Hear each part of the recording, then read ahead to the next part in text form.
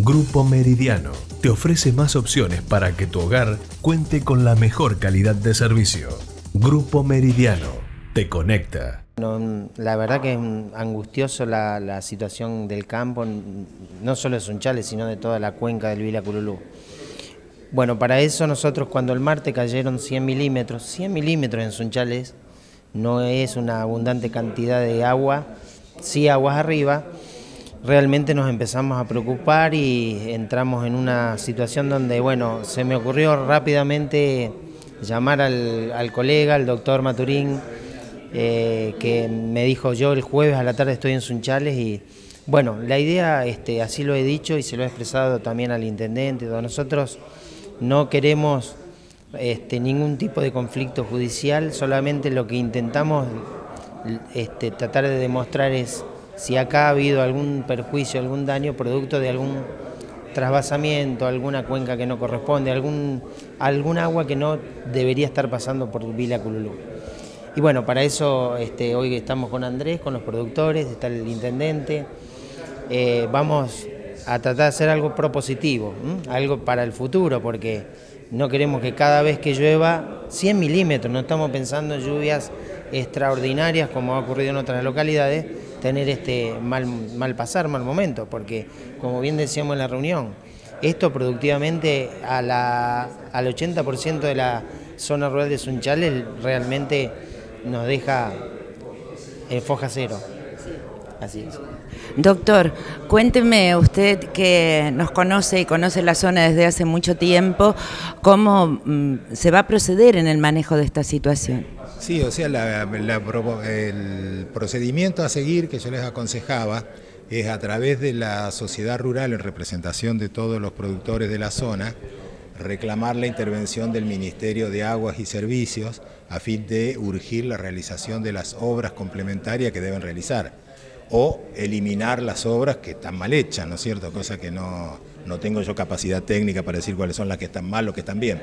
Pero evidentemente el manejo del agua y la inundación, sin ninguna duda, se debe a la falta de obras o a la negligencia o a la mala praxis de los que hicieron el diseño. No hay otra manera de que el agua no escurra e inunde todos los campos.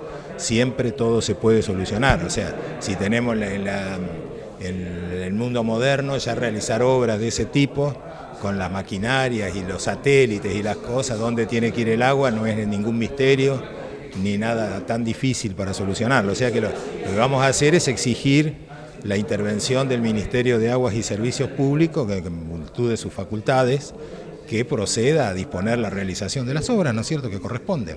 A su vez, por parte de los eh, productores afectados, eso ya a nivel personal cada uno, podrán reclamar los daños y perjuicios sufridos por culpa del gobierno provincial, que es el que no hizo las obras que debía realizar, y a su vez reclamar la, digamos, la, eliminación de las causas que motivan las inundaciones que sufrieron. Eso es lo que estuvimos conversando. Seguro, además eh, se me ocurre que por más que se haya declarado la emergencia hídrica, eh, ¿Qué es lo que va a hacer que el productor pueda sentirse, no sé, recompensado por todas estas pérdidas que va a sufrir? Estamos hablando de animales que se pueden morir, que hay que trasladar, estamos hablando de este, siembras que se van a perder, en otros lugares situaciones en la horticultura que no, ya no, no. Entonces, este, va mucho más allá de lo puramente monetario también, ¿no? Sí, yo no sé si es emergencia o es desastre agropecuario. Me parece que más un desastre cuando hay pérdida casi total. Bueno, hemos, hemos pasado por varias de estas, eh, empezar de nuevo. Hoy un productor me dice, el mes que viene me vence ganancia y no la tengo en el bolsillo, ¿cómo voy a hacer? Bueno, hay medidas que este, los gobiernos pueden implementar, desde diferir el pago, este, exceptuar del pago, créditos blandos. No estamos pidiendo subsidios, nosotros en estos momentos queremos que no es momento de reclamar subsidios, pero ya, ya tenemos que tomar medidas desde los ámbitos municipal, provincial o nacional. Esto, este, por lo menos el distrito Sunchale es inmediato, porque además cuando las aguas bajen, esa va a ser la otra cuestión. No solamente vamos a tener que reponer todos los sembrados, sino también reponer las vías de comunicación, este, la salida de la producción, etcétera, etcétera. Entonces, bueno, realmente es una situación de desastre, ¿no? Y bueno, eh, esperemos que el gobierno dé una respuesta pronta, pero no solo hay que dar respuesta, hay que ponerse a actuar de manera inmediata. Exactamente. Eh, ahora a partir de la constitución del 94, eh, la preservación del medio ambiente, la conservación del suelo, tienen protección jurisdiccional, o sea, si el gobierno no actúa, se puede recurrir a la justicia, en el cual va a disponer la realización de las obras en un plazo X. Fíjense, hay un caso que es muy conocido, que sale todos los días en el diario, aunque no sé si hicieron algo o no, porque no vivo ahí, que es el famoso riachuelo de Buenos Aires. El saneamiento del riachuelo está por orden judicial y bajo el control de un juez para evitar las cuestiones, etcétera. Eso es en virtud de la aplicación de la norma, ¿no es cierto? Y lo mismo vamos a tener que hacer aquí. O sea, si el gobierno no actúa, se tendrá que recurrir a la justicia y la justicia dispondrá un plazo para que se realice, si no se le aplican multas progresivas al gobierno en beneficio de los productores hasta que la obra se realiza.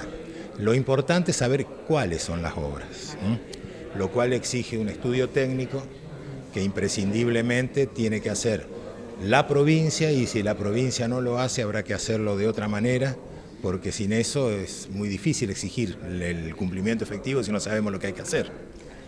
Grupo Meridiano te ofrece más opciones para que tu hogar cuente con la mejor calidad de servicio. Grupo Meridiano te conecta.